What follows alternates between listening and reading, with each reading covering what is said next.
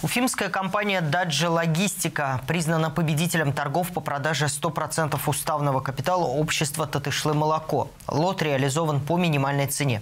Начальная стоимость на торгах была установлена на уровне 19 миллионов 700 тысяч рублей, цена отсечения почти 10 миллионов. Компании выставляли на торги с апреля 2023 года, тогда начальная цена лота составляла 22 миллиона рублей. Все процедуры были признаны несостоявшимися. Предприятие «Татышлы молоко» расположено в селе Верхний Татышлы, оно действующее. В компании трудоустроен 21 человек.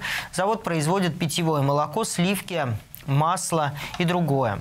Татышлы молоко было преобразовано из МУП в общество с ограниченной ответственностью в 2022 году. До этого предприятие работало под названием Татышлинский маслозавод. Единственным учредителем выступала республика в лице районной администрации.